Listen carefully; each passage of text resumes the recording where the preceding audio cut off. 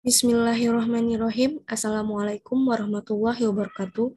Perkenalkan, saya Ulfa Nadira dari Fakultas Psikologi kelas 2F. Saya ingin menjelaskan sedikit tentang bidang psikologi sosial.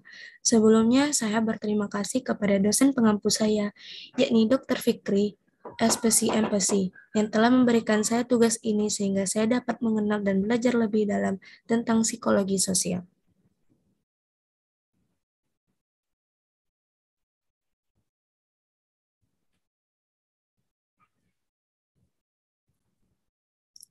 Psikologi sosial ialah definisi yang terus berkembang.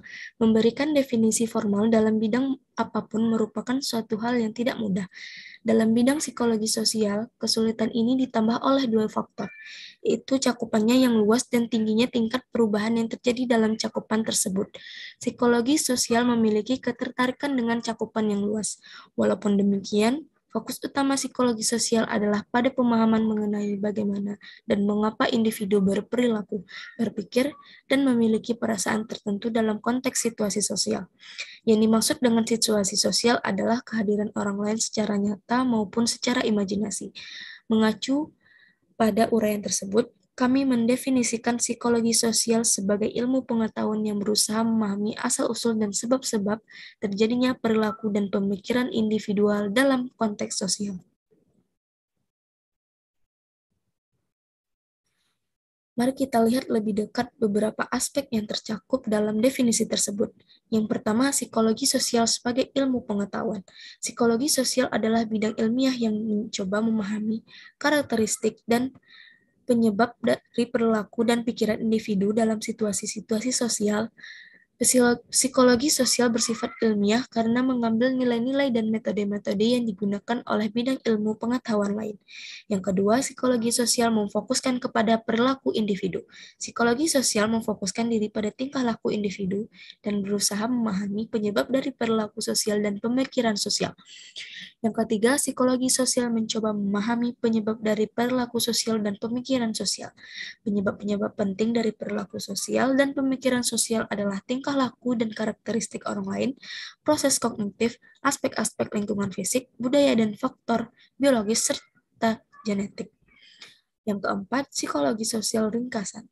Sebagai rangkuman psikologi sosial memfokuskan diri terutama pada pemahaman sebab-sebab perilaku dan pemikiran sosial, yaitu pada faktor-faktor yang membentuk perasaan perilaku dan pikiran kita dalam berbagai situasi sosial psikologi sosial mencapai tujuan ini melalui penggunaan metode-metode ilmiah dan dengan menyadari bahwa perilaku-perilaku pemikiran sosial dipengaruhi oleh faktor-faktor sosial, kognitif, lingkungan, budaya, dan biologis.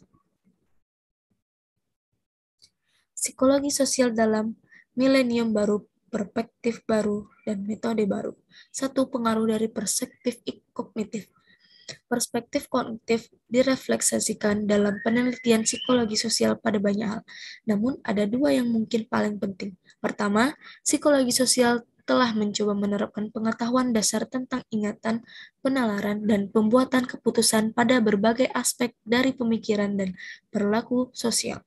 Misalnya dalam konteks ini, peneliti mencoba memahami apakah prasangka muncul setidaknya sebagian dari kecenderungan kita untuk mengingat hanya informasi yang konsisten dengan stereotip kelompok tertentu, atau kecenderungan untuk memproses informasi mengenai sekelompoknya sendiri dan kelompok sosial lain berbeda yang kedua adalah ketertarikan yang semakin besar pada pertanyaan tentang bagaimana kita memproses informasi sosial, apakah secara cepat dan asal-asalan untuk mengurangi usaha atau secara lebih hati-hati dan penuh usaha.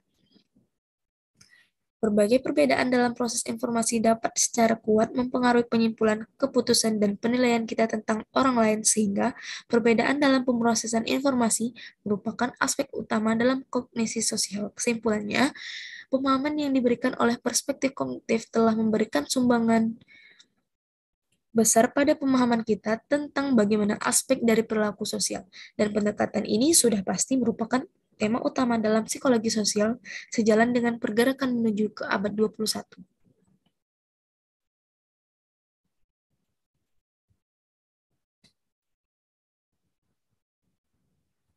Dua, berkembangnya penekanan pada aplikasi menerapkan psikologi sosial. Tema utama kedua dalam psikologi sosial saat ini adalah bertambahnya kepedulian untuk menerapkan berbagai pengetahuan yang didapatkan dari psikologi sosial. Semakin banyak jumlah psikologi sosial mengalihkan perhatian mereka pada isu-isu lingkungan, kesehatan personal, proses hukum, perilaku sosial di lingkungan kerja. Dan bahkan setiap orang yang membuka usaha atau bisnis sendiri, misalnya salah satu penelitian terakhir yang meneliti pengaruh keterampilan sosial seseorang, wira swastawan pada kebersihan mereka, Baron dan Makman, masih dalam proses pencetakan. Pen pendek kata, semakin besar minat untuk menerapkan hasil-hasil penelitian dan prinsip-prinsip psikologi sosial terhadap pemecahan dari permasalahan permasalahan praktis, sebenarnya ini bukan hal yang baru dalam psikologi sosial. Salah satu pendiri sosial psikologi pernah mengatakan bahwa teori yang terbaik adalah yang sifatnya praktis. Maksudnya adalah bahwa teori-teori perilaku dan pemikiran sosial yang dikembangkan melalui penelitian yang sistematis ternyata sering kali sangat berguna dalam memecahkan masalah-masalah praktis. Namun, terdapat sedikit keraguan bah penting minat untuk mengaplikasikan psikologi sosial pada isu-isu pada tahun-tahun terakhir ini memberikan hasil yang menguntungkan. Tiga perspektif keragaman budaya mempertimbangkan secara penuh keberagaman sosial. Sedikit penelitian mengangkat pentingnya keberagaman atau perbedaan dalam perilaku atau karakteristik individu dan berbagai budaya atau kelompok-kelompok etnik. Bahkan minat untuk meneliti kemungkinan perbedaan antara pria dan wanita juga tidak besar pandangannya waktu itu.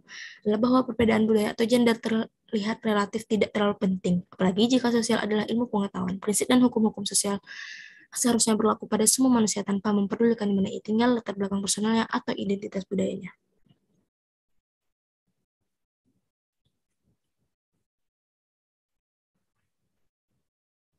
Empat, meningkatnya perhatian pada pentingnya peran faktor biologis dan perspektif evolusi. Seperti yang telah disinggung sebelumnya, tren penting larinya dalam psikologi sosial modern adalah meningkatnya pengaruh perspektif biologis atau evolusi. Makin banyak bukti menunjukkan bahwa faktor-faktor biologis yang genetik berperan dalam berbagai bentuk perilaku sosial mulai dan ketertarikan fisik dan pemilihan pasangan pada satu sisi sampai agresi di sisi lain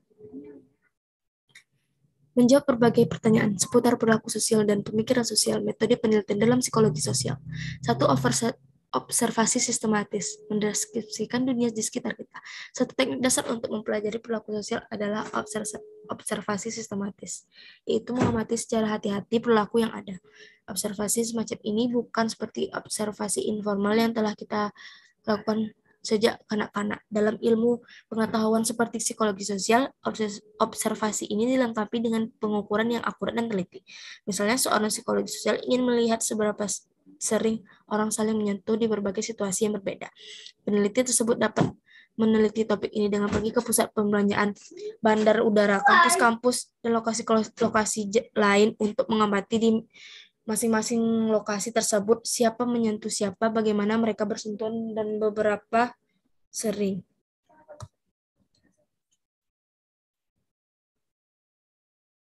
Dua, korelasi mencari hubungan. Pada berbagai kesempatan, Anda mungkin telah melihat bahwa beberapa peristiwa ternyata berhubungan satu sama lain. Ketika yang satu berubah, yang lain berubah juga. Misalnya mungkin Anda memperhatikan bahwa orang-orang yang mengemudikan mobil baru mahal cenderung lebih tua daripada mereka yang mengemudikan mobil tua dan murah. Atau ketika bunga bank naik, nilai pasar saham sering kali turun. Ketika dua peristiwa berhubungan seperti ini, peristiwa-peristiwa itu disebut berkorelasi atau bahwa terdapat suatu korelasi di antara keduanya. Tiga metode eksperimen. Eksperimentasi atau metode eksperimen seperti judulnya dalam metode eksperimen ini melibatkan strategi berikut. Satu variabel diubah secara sistematis dan efek dari perubahan ini pada satu atau lebih variabel lalu diukur secara berhati-hati. Bila perubahan sistematis pada satu variabel menghasilkan perubahan pada variabel, variabel lain. Terdapat hubungan sebab akibat antara variabel-variabel ini. Artinya perubahan-perubahan pada satu variabel yang menyebabkan perubahan-perubahan pada variabel lain. Karena metode eksperimental sangat bermanfaat dalam menjawab pertanyaan semacam ini. Metode ini sering digunakan dalam psikologi sosial. Namun mohon diingat juga bahwa tidak ada satu metode penelitian yang terbaik, melainkan seperti halnya ilmuwan lainnya. Psikologi sosial memilih metode yang paling cocok untuk meneliti suatu topik tertentu. Keempat, menginterpretasikan hasil penelitian. Setelah suatu penelitian selesai, psikologi sosial harus mengubah fokus perhatian mereka kepada satu tugas penting, yaitu menginterpretasikan hasil penelitian tersebut. Pertanyaan kuncinya adalah seberapa yakin kita atas hasil penelitian tersebut. Apakah korelasi antar variabel atau perbedaan yang diamati antara kondisi eksperimen atau hal yang terjadi dapat diterima sebagai sesuatu yang akurat. Untuk menjawab pertanyaan ini, psikologi sosial biasanya menggunakan statistik yaitu form, yaitu suatu formula matematika khusus yang dapat membantu kita untuk mengevaluasi kemungkinan apakah satu pola hasil penelitian terjadi akibat adanya faktor kebetulan. Baiklah, sekian dari saya. Mohon maaf apabila ada kekurangan. Terima kasih. Assalamualaikum warahmatullahi wabarakatuh.